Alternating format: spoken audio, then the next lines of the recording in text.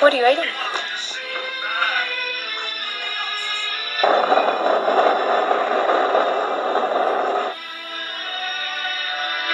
Sounds nice. Hot and spicy from Kentucky Fried Chicken. Get it while it's hot.